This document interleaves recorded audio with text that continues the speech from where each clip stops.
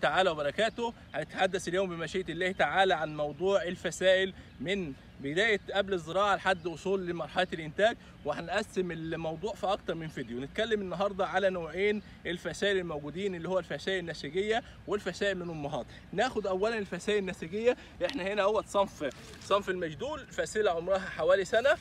إيه هي مميزات وعيوب الفسائل النسيجيه لو جيت بقى أنا اتكلمت كده وقلت إيه هي مميزات وعيوب الفسائل النسيجيه هنلاقي مميزات الفسائل النسيجيه اولا سهولة الشراء سهولة البيع سهولة التداول سهولة النقل. ماشي؟ لأن صغر حجم الفسيله زي ما إحنا شايفين فسيله حجمها صغير ويسهل التداول بتاعها من مكان لمكان.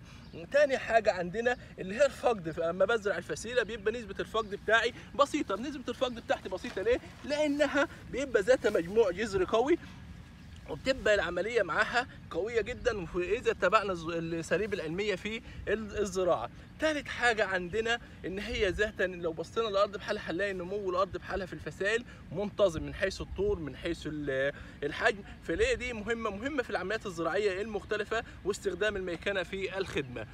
طب عندنا سؤالين هل الفسائل النسيجيه مطابقة تماما للصنف أو للأصل؟ ديت إجابة محدش يقدر يقول لك عليها نعم ديت لأن عشان أقول نعم لازم آخد أربع سنوات وأحصل على الثمرة. وبعد أربع سنوات حتى لو أنت معاك ضمان من الشركة ما حدش يضمن لك إن الفسيله إيه النسيجيه مطابقة تماما للصنف مليون في المية. ممكن يحصل فيها طفرات وممكن يحصل فيها حاجات. تمام؟ هل الفسائل النسيجيه خالية تماما من الأمراض؟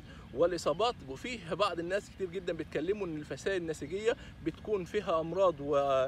وإصابات. غير موجودة في الفسائل من الأمهات. تمام. ديت بالنسبة للمميزات طب لو خدنا إيه العيوب بتاعة الفسيله النسيجيه الفسيله النسيجيه بتبقى سريعة كبيرة كتير جدا في النمو زي ما إحنا شايفين كده ولكن ما بتوصلش للتبشير إلا بعد أربع سنوات وما باخدش منها محصول تجاري إلا بعد ست سنوات. دي أول حاجة. تاني حاجة إن الفسيلة النسيجيه بتبقى ذات مجموع ورقي صغير. فلو ما زرعتهاش بالطريقة الصحيحة ممكن يخش المية القلب النخلة فيحصل عملية ضمور النخلة وتموت النخلة. وكده يبقى إحنا انتهينا من الفسائل النسيجيه ونتكلم إن شاء الله تعالى عن الفسائل زراعة الفسائل الإيه؟ من الأمهات. الأمهات نتكلم الأول على عيوب الفسائل من الأمهات قبل ما نتكلم عن المميزات. إيه هي العيوب الفسائل من الأمهات؟ فسيلة من الأمهات بتحتاج إلى عمالة فنية مدربة لفصل الفسائل وتحتاج إلى أدوات خاصة في عملية الفصل تاني حاجة إن هي لها أوقات محددة في الفصل والزراعة وعند اختلاف الأوقات المحددة نسبة الفسيلة. نجاح الفسيلة بيكون قليل. تالت حاجة نتيجة الفصل من الفسيلة من الأم بتكون الأم والفسيلة معرضة للإصابات الفطرية والحشرية خاصة السوسة وبعض الأمراض الفطرية. ثالث حاجة صعوبة النقل، نقلها بيبقى صعب من مكان لمكان لكبر حجمها وايه وثقل وزنها، فديت ممكن نقوله أهم العيوب اللي هي إيه؟ تكون في الفسيلة في الفسائل من الأمهات.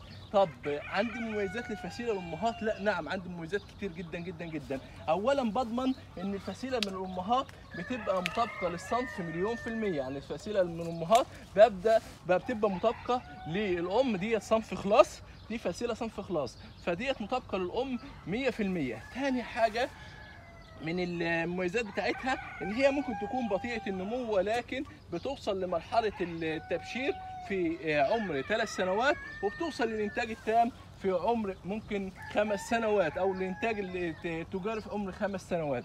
ده بالنسبة للمميزات ودي بالنسبة للعيوب. طب لو جينا بقى بعد كده خدنا بقى بالتفاصيل بقى نتحدث عن الفسائل بالتفاصيل. قبل ما آخد الفسيلة في عندي حاجات في الأم. إيه هي الأم اللي أنا آخد منها فسيلة؟ مش أي أم آخد منها فسيلة. عشان آخد فسيلة من أم لازم تكون الأم عمرها أكبر من 10 سنوات زي ما إحنا شايفين. الأم يكون عمرها أكبر من 10 سنوات. كذلك الأم تكون الجذع بتاع الأم خالي تماما من الإصابات الفطرية والحشرية والمرضية. وعندي ثلاث حاجات ممكن نتكلم فيهم في الأم. عندي اولا ما يكونش انحناء رأس النخلة في الأم. ما يكونش عندي اللفحة السوداء أو الحفار أو السوسة بالنسبة للنخيل اللي هاخد منه أم. طب نيجي ناخد بقى إيه تاني؟ تكون الأم ذات مجموع خضري قوي وذات ثمار مجموع ثمري قوي. لو بصينا على الأم ديت فيها حوالي 9 أو 10 عزوج وال- والعزوج بتاعتها ممتازة. يبقى أنا بضمن الصنف. كذلك إن الثمرة بتاعت الأم تكون ذات مواصفات جودة عالية من حيث التبكير من حيث نسبة السكر من حيث اللون لو هي أصناف ملونة من حيث كل حاجة القشرة ويبقى الصنف بتاعي ممتاز. دي بالنسبة للأم. طب عندي مواصفات للفسيلة؟ آه عندي مواصفات للفسيلة. إيه هي؟ لازم تكون الفسيلة مطابقة مليون في المية للأم. طب إزاي اضمن ان هي مطابقة مليون في المية للأم؟ هل ممكن الفسيله تكون غير مطابقة؟ نعم.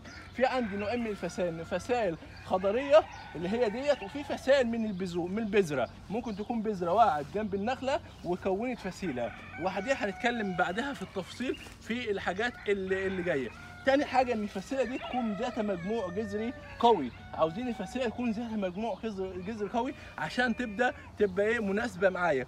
تالت حاجة قطر الفسيلة أو حجم الفسيلة. حجم الفسيلة لازم يكون وزنها من آه، 15 ل 25 كيلو جرام على الأقل. وحجم والقطر بتاعها من 10 ل 30 من 20 ل 30 سم ممكن عشان القطر ما يجيش معايا ممكن آخد المحيط والمحيط بتاعها بيبقى من 62 ل آه، 90 سم دي بالنسبة للمواصفات الفسيلة.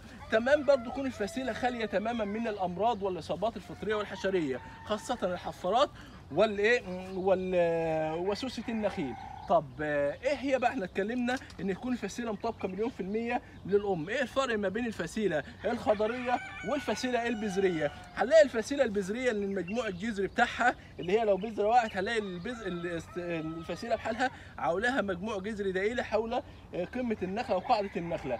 تاني حاجة هنلاقي إن الفسيلة مفيش نقطة اتصال ما بينها وما بين الأم بعكس الفسائل الخضرية. وبكده يبقى إحنا انتهينا من أول فيديو عن أيهما تفضل في آخر حاجة. أيهما تفضل الفسيله الخضرية أم الفسيلة النسيجيه لو عندي نفس الصنف ونفس الظروف اللي أنا عاوزها وعندي فسيلة خضرية وفسيلة نسيجيه ده رأيي الشخصي. أقول لك خد الفسيلة النسيجيه الخضرية وما تاخدش الفسيلة النسيجيه يبقى أنا بفضل الفسائل الخضرية عن الفسائل النسيجيه وده رأيي الشخصي. ممكن نتناقش فيه. وشكرا والسلام عليكم ورحمة الله تعالى وبركاته.